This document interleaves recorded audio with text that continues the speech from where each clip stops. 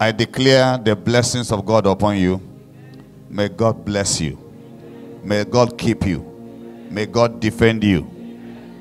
This is the week of divine acceleration. God will cause you to run faster than, than your peers in Jesus' name.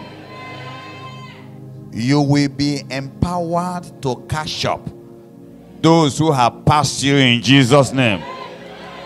And when you cash up, you will now outrun them in Jesus' name.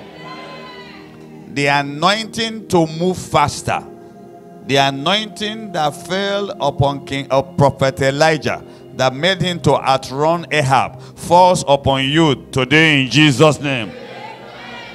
This week you will begin to move fast. No more stagnancy in Jesus' name. No more slow movement in Jesus' name. I command you to begin to move faster, to accelerate, accelerate, and keep accelerating until you get to your destiny land. So shall it be. In the name of God the Father, and of the Son, and of the Holy Spirit.